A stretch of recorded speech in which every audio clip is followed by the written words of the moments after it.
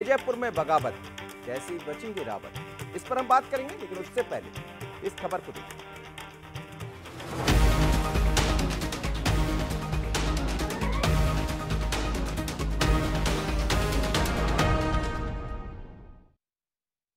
मेरा कहना है कि मुझे टिकट चाहिए। पार्टी से, भारतीय जनता पार्टी से मैं चुनाव लड़ूँगा। सुना आपने? क्या कह रहे हैं बीजेपी के पूर्व विधायक सीताराम आदिवासी? क्या इसे विजयपुर में उपचुनाव से पहले बगावत का संकेत माना जाए? या फिर ये टिकट पाने के लिए पूर्व विधायक की पूरी धमकी है? सीताराम आदिवासी टिकट की मांग के साथ ही रामनिवास रावत के खिलाफ भी मोर्चा खोल रहे हैं। साथ ही सीताराम रावत को बीजेपी में लाने पर भी सवाल खड़े कर रहे हैं। रामनिवास रावत कैबिनेट मंत्री बना दिया है, भारतीय जनता पार्टी ने। तो क्या ज़रूरत पड़ रही है ऐसी? हमारे पास बहुत सीट है, हमारे पास बहुत विधायक है।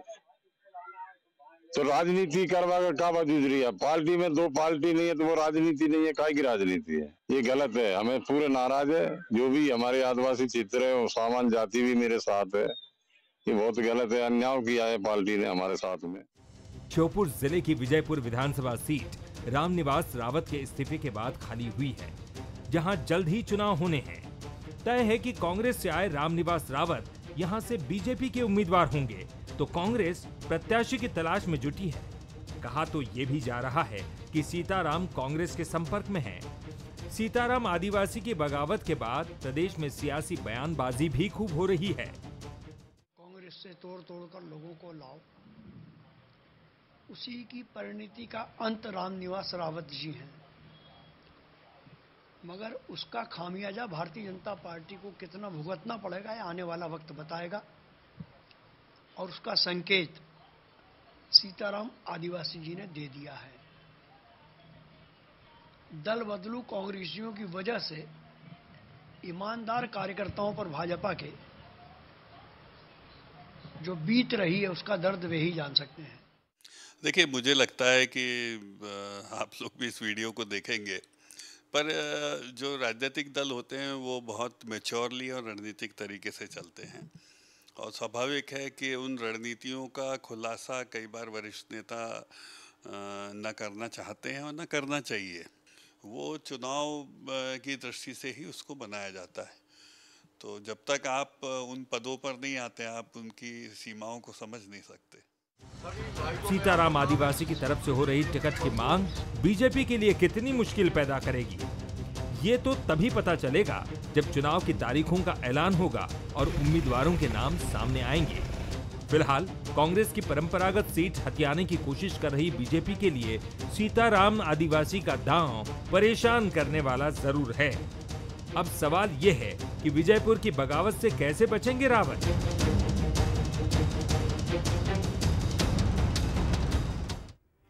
नमस्कार, मैं हूँ मनोज सैनी और आज का हमारा मुद्दा है विजयपुर में बगावत।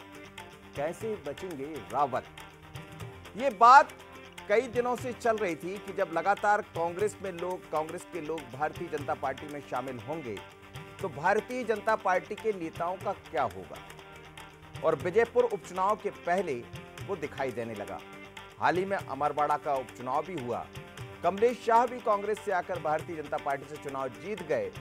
जीत का अंतर भी आप देख रहे हैं। लेकिन ये जो स्थितियाँ बनी हैं बगावत की, क्योंकि अभी तो टिकट देना है, बहुत सारी बातें होना है, इस बीच में सीताराम जैसे और कितने लोग होंगे? तो क्या ये मुश्किल बढ़ाएगा? आज समझेंगे इस बगावत को भी, लेकिन इस पर चर्चा करें उससे पहले तीन वो सवाल जिनके नज़दीक हम रहने वाले यानी सुलग के क्या विजयपुर में बगावत से बिगड़ सकता है बीजेपी का सियासी खेल? सीताराम की टिकट की मांग से कितने परेशान होंगे रामनिवास रावत? क्या कांग्रेस की टिकट पर चुनाव लड़ सकते हैं सीताराम आदिवासी? तो ये वो तीन सवाल हैं जिनके नज़दीक हम रहने वाले हैं, लेकिन मानकर चलिए कि काम शुरू हो गया। मेरे साथ तीन मेहमान जुड़ रहे हैं। आज के मेहमान हैं सुमेर सिंह सोलंकी, सांसद है, राज्यसभा सांसद। आपका बहुत स्वागत है सुमेर जी, और साथ ही रामकिशोर दोगने जी है, कांग्रेस की विधायक। आपका भी बहुत स्वागत है और हमारे न्यूज़ हेड शरद द्विवेदी जी भी हमारे साथ जुड़ रहे हैं। सर, आपका भी बहुत स्वागत है। सबसे पहले शरद जी के पास ही मैं चलना चाहूँगा। शरद जी, कई बार इस मुद्दे को लेकर बातें होती रही कि जो आने वाले हैं, वो तो आ रहे हैं, उनको जगह भी मिल रही है। एक उपचुनाव अमरबाड़ा अभी हमने देखा। हालाँकि भारतीय जनता पार्टी जीतने में कामयाब भी रही और आज हम देख रहे थे मुख्यमंत्री मोहन यादव भी वहाँ पहुँचे। दूसरी तरफ़ बी डी शर्मा भी पहुँचे और आभार भी मान लिया। लेकिन आभार के साथ ये जो प्रभार दिखाई दे रहा है दूसरे आदिवासी नेताओं की तरफ़ से, वो नेता जो खाटी नेता है भारतीय जनता पार्टी के, क्या विजयपुर चुनौती बनेगा? देखिए मनोज, सबसे अहम बात यह है कि जब से बीजेपी में कांग्रेस से आने वाले मेहमानों का सिलसिला शुरू हुआ है, ये सवाल बीजेपी के लिए बहुत बड़ा होता जा रहा है। अब आपकी लड़ाई सिर्फ़ कांग्रेस से नहीं होती बल्कि कांग्रेस से जो मेहमान बीजेपी में आते हैं, उसकी वजह से बीजेपी में जो मुश्किलें पैदा होती हैं, अब आपको दो दो मोर्चों पर लड़ना पड़ता है। और अगर आप कल्पना कीजिए, फ़र्ज़ कीजिए कि सीताराम जी नहीं मानते हैं, और वो या तो कांग्रेस के टिकट पर चुनाव लड़ते हैं या निर्दलीय लड़ते हैं तो विजयपुर जो ऑलरेडी एक टफ सीट मानी जाती रही है। और इस बार भी विश्लेषकों का कहना है कि वो बहुत आसान चुनाव भारतीय जनता पार्टी के लिए नहीं होगा। तो ये भारतीय जनता पार्टी के लिए चुनौती बनने वाली है। अब ये क्रम बीजेपी कब तक जारी रखेगी, क्यों जारी रखेगी, उसकी क्या मजबूरी है, उसकी क्या व्यवस्था है, इसके उत्तर बीजेपी के रणनीतिकार बेहतर दे सकते हैं। लेकिन बीजेपी में एक बहुत बड़ा वर्ग है, जिसमें मैं ये भी कहूँगा कि बीजेपी के रणनीतिकार भी शामिल हैं जिसमें, जिन्होंने चुनाव में बहुत महत्वपूर्ण भूमिका निभाई है। और व्यापक जो बीजेपी का एक कार्यकर्ता वर्ग है, उसकी निगाह में अब इस पूरी एक्सरसाइज का अर्थ बीजेपी में असंतोष के बीज बोने की तरह है। हालाँकि बीजेपी टेकअप कर लेती है इन सारी चीज़ों को, लेकिन ये आप बहुत लंबे समय तक आप इस तरह की परिस्थितियों का सामना नहीं कर सकते हैं कि आप हर बार चुनाव में कांग्रेस से भी लड़े और बीजेपी के भीतर के असंतोष से भी लड़े। क्योंकि आपके साथ जो व्यक्ति आया है, वो अब बीजेपी के टिकट पर चुनाव लड़ रहा है। तो दोधारी तलवार है अब बीजेपी के लिए। वो कैसे निपटेगी, ये एक बड़ा सरदर्द तो है मनोज बीजेपी के लिए। बिल्कुल। सुमेर जी, एक कहावत है बोए पेड़ बबूल के। अब मैं उससे आगे नहीं कहूँगा, आप समझ रहे होंगे मेरी कहावत को। लेकिन आने वाले दिनों में जो कुछ बो दिया जो लगातार बोती जा रही भारतीय जनता पार्टी, उसको काटना भी पड़ेगा। और सीताराम जी जैसे वरिष्ठ नेता, जो पहले एक बार आप चुनाव जीत चुके शायद 2018 में तो ये बताता है कि चुनौती आपके सामने बड़ी है। कैसे निपटेंगे इनसे? देखिए मनोज सर, सबसे पहले तो मैं आपको नमस्कार करता हूँ। मेरा और जितना अनुभव रहा है, भारतीय जनता पार्टी कार्यकर्ताओं की पार्टी है और यहाँ सभी कार्यकर्ताओं को टिकट मांगने का अधिकार है और सभी कार्यकर्ता अपनी अपनी दावेदारी प्रस्तुत करते हैं पार्टी के पास में। लेकिन पार्टी में श्रेष्ठ कार्यकर्ता को पार्टी जगह देती है, टिकट देती है और बाकी हमारे परिवार का मामला होता है, अगर टिकट किसी को दे दिया जाता है तो फिर सब मिलके हम चुनाव लड़ते हैं। हमारे बीच में कोई मतभेद नहीं रहता है, लेकिन दावेदारी करना कोई बुरी बात तो है नहीं। तो दावेदारी करने का काम सबका है, लेकिन पार्टी अंत में जिसके लिए निर्णय लेती है, उसके साथ में मिलकर भारतीय जनता पार्टी का एक एक कार्यकर्ता चुनाव लड़ता है और मध्य प्रदेश के अंदर और देश के अंदर अगर भारतीय जनता पार्टी ने अपना परचम लहराया है हम्म। तो इसी दम पर मध्य प्रदेश की 29 की 29 सीटें हमने लोकसभा में भी जीती है और अभी हमने अमरवाड़ा में भी चुनाव जीता है विधानसभा का उपचुनाव का तो मैं आपको ये कहता हूँ कि भारतीय जनता पार्टी का प्रत्येक कार्यकर्ता टिकट माँगता है और मांगना उनका अधिकार है लेकिन अंत में पार्टी जिसका निर्णय लेगी उसी निर्णय पर सभी लोग एक मत होके एकजुट होकर चुनाव लड़ते हैं और चुनाव जीतते हैं हम लोग। बीजेपी के कार्यकर्ता टिकट मांगते अच्छी बात है। जो आपके साथ आ गए वो भी बीजेपी के हैं। पर वही तो दिक्कत है ना कि जो बीजेपी से जुड़ा है वो टिकट मांगेगा उसको टिकट नहीं मिलेगा। टिकट उसको मिल जाएगा जो हाल ही में आ गए और पद भी पा गए। अनेक उदाहरण ऐसे हैं। मनोज सर अनेक उदाहरण ऐसे हैं। भारतीय जनता पार्टी के कार्यकर्ता भारतीय जनता पार्टी में जो भी आ गया वो भारतीय जनता पार्टी का कार्यकर्ता है। हम्म। और भारतीय जनता पार्टी का कार्यकर्ता होने के नाते टिकट की दावेदारी करता है और जिसे भी पार्टी टिकट देगी पार्टी का प्रत्येक कार्यकर्ता उसके लिए संघर्ष करेगा। कांग्रेस चाहे जो कहे। लिए आप क्या कहेंगे? मैं समझता हूँ आपकी चुनौती। कुछ कुछ कह रहे हैं जो भारतीय जनता पार्टी का मूल कार्यकर्ता है उसके लिए क्या कहेंगे आप? जो भारतीय जनता पार्टी का मूल कार्यकर्ता है उस वो कैसे ढाड़स बंधाएगा खुद को? सुमीर जी।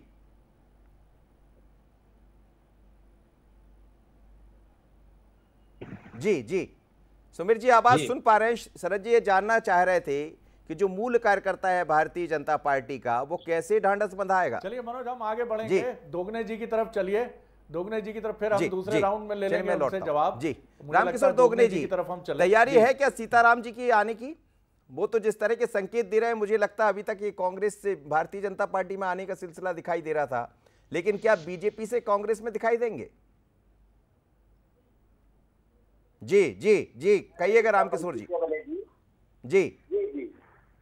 मेरा समय तो समय क्या बनेगी? तो निश्चित है, कांग्रेस बहुत अच्छे से आपने देखा है। ये पूरी सीट जो है, कांग्रेस की सीट है। और कांग्रेस हमेशा है, वहाँ देखिए।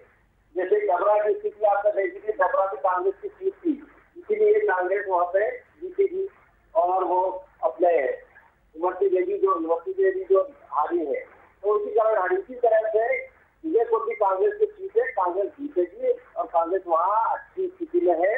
इसका कोई वो नहीं है, कोई भी आदमी चला जाए, किसी के जाने से पार्टी का बहुत केडर चेंज नहीं होता है। और कांग्रेस का आपने देखा है कि मजबूती आपने अमरवाड़ा में देखी है।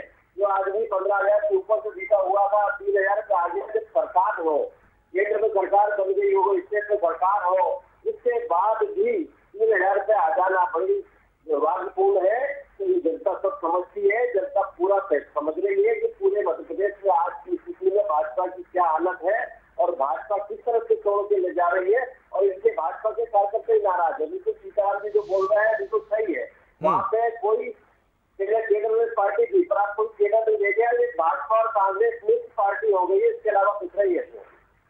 चलिए ठीक है, लेकिन आप, मैं ये जवाब भी जानना चाह रहा था, क्या सीताराम संपर्क में है? सीताराम भी संपर्क में है और भी भाजपा के नेता संपर्क में है, वहाँ पे जो मज़बूत है, वो भी संपर्क में है और वो कोई भी इनको पसंद नहीं कर रहे हैं। रामनिवास रावत जी जो गए हैं कांग्रेस छोड़कर भाजपा में तो कांग्रेस के लोग भी नाराज़ है और भाजपा के लोग भी नाराज़ है। उस नाराज़गी का हम लोगों को बिल्कुल फ़ायदा मिलेगा। और हमारा सत्या भी बहुत अच्छा आएगा जी। बहुत अच्छे से करेंगे वो सब चीज़ें हमारी तैयारी कर रही है जी शरद जी लंबे समय से ये चीज़ें देखते रहे हैं आप भी कह रहे हैं कि जो उसको ढांढस कैसे आएगा? सवाल ये भी है कि आखिर ये जो पाचन क्रिया है इतनी मज़बूत कैसे है भारतीय जनता पार्टी की जिसमें भीतर के लोग परेशान होते रहें और जो आने वाले हैं वो खुश होते रहें? इससे जिससे अभी इससे बात नहीं कर रहा हूँ। देखिए, चुनौतियाँ बहुत गहरी हैं मनोज। चुनौतियाँ इसलिए गहरी हैं कि स्थितियाँ बहुत बदल गई हैं। इस समय कांग्रेस का मनोबल मध्य प्रदेश की मैं बात कर रहा हूँ। लोकसभा चुनाव के बाद तो कांग्रेस का मनोबल बेहतर हुआ है।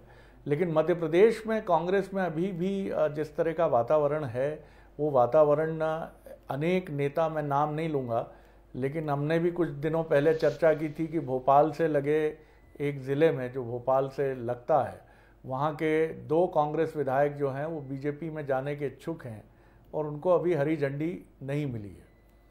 तो ये जो घटनाएँ हैं, ये घटनाएँ बता रही हैं कि ये क्रम निरंतर जारी रखना अगर बीजेपी चाहे तो ये निरंतर जारी रह सकता है। लेकिन जो सवाल मैंने सोलंकी जी से किया था, सोलंकी जी भले ही राज्यसभा में हैं, लेकिन कल हो सकता है वो, क्योंकि जैसा इस बार लोकसभा चुनाव लड़वाया है, फिर लोकसभा चुनाव भी वो लड़ें और वो ये देखें कि जो कांग्रेस का प्रतिद्वंदी जिससे उनको चुनाव लड़ना है या वो लड़ चुके हैं, वही उनकी पार्टी में आ गया। अब सोलंकी जी को मुस्कुराना तो है ही, क्योंकि ये इनकी पार्टी का मसला है। इनको ये भी बड़े मन से कहना है कि जो बीजेपी में आता है, वो दिल में समा जाता है। लेकिन कैसे, सीताराम जी से पूछिए ना कि वो क्या करें? इस समय क्या वो रामनिवास रावत जी को मतलब माथे का मुकुट मान के आगे बढ़ें? उनके सीने पर इस समय कितनी तकलीफ़ का एक मंजर घूम रहा होगा। तो ये सारी चीज़ें जो प्रैक्टिकल चीज़ें हैं ये एक बड़ी चुनौती बन रही है और दरअसल ये जैविक नहीं है जिसको हम एक शब्द यूज़ करते हैं ना कि ये बायोलॉजिकल नहीं है ये नेचुरल प्रोसेस नहीं है। जब भी आप किसी नेचुरल प्रोसेस में नहीं जाते हैं तो वो अपने साथ चुनौतियाँ लेकर आती है और बीजेपी के लिए ये पूरा मसला एक बड़ी चुनौती लेकर आ रहा है जो कब किसी बड़े विस्फोट की तरह फूट पड़े कहना बहुत कठिन है मनोज। बिल्कुल। सुमीर जी अभी शरद जी का सवाल आपसे यही था और मैं भी उसी सवाल पर आपके पास आना चाहूँगा कि जो लोग आपके हैं वो कैसे ढांढस बांधे आखिर कब तक? कहीं कोई रास्ता तो होगा इसका कहीं तो कुछ विराम लगाना ही पड़ेगा। जो आ रहे हैं वो समाते चले जा रहे हैं और यही चुनौती आगे चलकर मुसीबत बनेगी। ऐसा है भारतीय जनता पार्टी एक विशाल परिवार है। और इस परिवार में ये दुनिया की सबसे बड़ी लोकतांत्रिक पार्टी है और इस परिवार के अंदर जो भी आएगा उसके लिए जगह है। दिल में भी जगह है और पार्टी में भी जगह है। ऐसी तो कोई बात है नहीं। हम्म। भारतीय जनता पार्टी का कार्यकर्ताओं का जो विस्तार करने का काम है वो निरंतर जारी है। और अगर कोई स्वेच्छा से ये कहता है कि मैं भारतीय जनता पार्टी का सदस्य बनना चाहता हूँ भारतीय जनता पार्टी को मैं ज्वाइन करना चाहता हूँ और उसकी अगर इच्छा से वो आ रहा है तो भारतीय जनता पार्टी का परिवार उसका हार्दिक अभिनंदन करता है और स्वागत करता है। दूसरी बात है, भारतीय जनता पार्टी एक अनुशासित कार्यकर्ताओं की पार्टी है। यहाँ एक अनुशासन बना हुआ है। संगठन जो निर्णय लेता है, वो सबके लिए, सभी कार्यकर्ताओं के लिए समान रूप से सर्व, सर्वमान्य होता है और हर कार्यकर्ता इस बात को मानता है। और कांग्रेस जैसी स्थिति भारतीय जनता पार्टी में थोड़ी है। कांग्रेस में कमलनाथ जी की पार्टी अलग है दिग्विजय सिंह जी की पार्टी अलग है अभी वर्तमान प्रदेश अध्यक्ष जी का अपना अलग रास्ता है। हम्म। तो ये तमाम रास्ते उनके अलग अलग है लेकिन भारतीय जनता पार्टी में ऐसा नहीं है। भारतीय जनता पार्टी सीताराम जी जैसे ये लोग जो हैं स्वर तो उनके सुनाई देने लगे हैं। तो इसका मतलब ये है कि आगे और भी आवाज़ें निकलेंगी। किस किस की आवाज़ दबाएँगे? पूरा देश मानता है और मध्य प्रदेश का नेतृत्व अगर कोई निर्णय लेता है तो उसको भी पूरा मध्य प्रदेश मानता है। हमारे सीताराम आदिवासी जी मैं उनसे कई बार मिला हूँ। हम्म। हमारे बहुत वरिष्ठ और सुलझे हुए कार्यकर्ता के साथ साथ वो हमारे नेता भी है। वो अपना दावेदारी टिकट मांगने की वो कर सकते हैं वो कर रहे हैं। हम्म। उसमें कोई दो मत नहीं मैंने पहले भी कहा है कि कार्यकर्ता चलिए। दावेदारी करता है कार्यकर्ता दावेदारी करता है और अंत में पार्टी जो निर्णय लेती है उस निर्णय पे सभी कार्यकर्ता एकजुट होकर चुनाव लड़ते हैं। भारतीय जनता पार्टी में ऐसा कुछ भी नहीं है। कांग्रेस में हो सकता है। है। कि वहाँ अलग अलग सुर हो। भारतीय जनता पार्टी के सुर भी एक है और भारतीय जनता पार्टी का संगठन भी एक ही निर्णय पर चलता है। रामकिशोर दोगनी जी कहीं आपको भी सोचना तो पड़ेगा आखिर कब तक जाते रहेंगे लोग? आज भी कुछ घटनाक्रम ऐसे देखने में आए जब एक कार्यकर्ता के साथ ये कह दिया जाता है। उनका बयान भी सुनने में आया। आपकी राष्ट्रीय अध्यक्षा पहुँचती वो बड़े आरोप लगा रही हैं वो कह रहे हैं कि जूते मारे जाएँगे आपको। मैं किसी व्यक्ति विशेष के बारे में बात नहीं कर रहा हूँ लेकिन कार्यकर्ता को संभालना तो पड़ेगा ऐसे जाते रहेंगे तो फिर हो गया काम। देखिए अमर वाड़ा अभी अभी आपके हाथ से गया अभी? जी। जी मेरा ये कहना है मनोज जी कार्यकर्ता बिल्कुल सतर्क है और कार्यकर्ता कांग्रेस का जो कार्यकर्ता है, कांग्रेस के साथ है कोई इसी को चिंता की बात नहीं है। अवसरवादी जो लोग हैं वो जाते आते रहते हैं और ये समय है। समय के साथ साथ आपने अभी तत्काल देखा है। अभी आपने यहाँ जो मैंने बताया पहले भी कि यहाँ का जो अमरवाड़ा सीट का जो रिज़ल्ट आया है वो देख लीजिए कि वो कैंडिडेट पंद्रह हज़ार से ऊपर से जीते हुए थे वो तीन हज़ार पे आ गए हैं। तो ये समस्या ये सम, परिस्थितियाँ यहाँ भी आ रही है और यहाँ तो वहाँ तो विरोध नहीं था। यहाँ तो, तो पूरा विरोध है। भाजपा का पूरा विरोध है। भाजपा के लोग विरोध कर रहे हैं। कांग्रेस के लोग तो विरोध कर रहे ही है। तो इस तरह की परिस्थिति यहाँ भी बनना है। और कांग्रेस सतर्क है कांग्रेस अच्छा कैंडिडेट लेके आएगी और निश्चित विजयपुर जीतेगी। इसके साथ साथ आपका नेचर मैंने बताया कि नेचर वो विजयपुर सीट का नेचर जो है वो कांग्रेसी है और कांग्रेसी है इसलिए कांग्रेस को सपोर्ट करती है और वो सीट कांग्रेस को वहाँ की जनता जो है या वहाँ के हमारे जो कांग्रेस के नेता कार्यकर्ता है वो कांग्रेस को वोट देंगे सपोर्ट करेंगे और सीताराम जी का मतलब जाने जाने वालों के लिए आपकी कोई चिंता नहीं है किसी को रोकना नहीं है जो जा रहा है वो जाते जाए। नहीं जाने वालों के लिए बहुत चिंता है पर अब कोई अगर कभी अपने स्वार्थ बस चला जाए तो उसके लिए क्या कर सकते हैं? वो पूरा पूरी कोशिश की जा रही है पूरा महत्व दिया जा रहा है पार्टी के नेताओं को सबको साथ में लेके काम किया जा रहा है पर इसके बाद भी कोई स्वार्थ बस जाता है तो उसके लिए कोई क्या कर सकता है? जी। पूरे प्रदेश अध्यक्ष लगे हुए हैं विपक्ष के नेता हमारे लगे हुए बड़े नेता सब लगे हुए हैं कहीं कोई ऐसी बात नहीं जी है। कुछ कह रहे हैं तो पार्टी के साथ खड़े हैं ना दोगने साहब। जी जी। शरद जी। आप तो खड़े हुए हैं ना पार्टी के साथ। आप हाँ, तो पार्टी के साथ है ना सर। आपके सामने बोल रहे हैं ना आपके सामने खड़े बिल्कुल बोल रहे हैं पार्टी के सामने। शरद जी यही सामने बोलने वाले कई चले गए। जी जी। हमारे इंटरव्यू में बोलते थे कि हम तो हमारा जीना यहाँ मरना यहाँ इसके सिवा जाना कहाँ? ये शरद जी समय के साथ सब होता है। जब भाजपा भाजपा जब छोटी सी थी जब जब लोग नहीं भाजपा के लोग भी इधर आते थे। और अभी भी आते हैं कई अभी भी अभी आए सांसद बने हैं कई लोग दूसरे स्टेटों में आए हैं। तो ये राजनीतिक नेचर है अगर किसी को स्वार्थ बस जाना है तो जाएगा उसको को रोक भी नहीं सकते क्या करोगे ज़बरदस्ती कोई कर सकता है क्या? अगर मानो उसके अगर कभी उसको स्वार्थ है कोई अगर जब आप ये कह देते तो कहने के लिए बचता क्या है फिर? शरद जी लेकिन आप क्या समझ पा रहे हैं क्या दोगनी जी जैसा कह रहे हैं कि जो जाने वाला है चले जाए करें क्या उसके लिए? लेकिन कांग्रेस के भीतर भी एक रणनीति तो तय करना पड़ेगा आखिर कब तक जाते रहेंगे? आज भी कुछ घटनाक्रम ऐसे घटित हुए जिसमें एक कार्यकर्ता सीधे तौर पर अलका लामा जी यहाँ पहुँचती है। उन पर सवाल खड़े कर देती कार्यकर्ता के साथ जो व्यवहार हुआ हालाँकि वो किस परिस्थिति में हुआ वो दोनों समझ रहे होंगे लामा जी और वो। लेकिन इससे मैं ऐड इसलिए करना चाह रहा हूँ कि आखिर कब तक ये कोई तो व्यक्ति आए सामने रोकने वाला? शरद जी।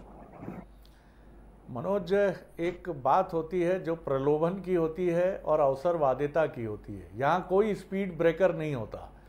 कांग्रेस से लोग बिना स्पीड ब्रेकर के, क्योंकि ना उन पर नैतिकता का बंधन है कोई, ना उन पर अंतरात्मा का कोई बंधन है। ऐसा नहीं है कि कांग्रेस में ऐसे नेताओं की कमी अभी भी है, जो तमाम प्रलोभन के बाद भी कांग्रेस में खड़े हैं, लेकिन वो बहुत कम ऐसे लोग हैं।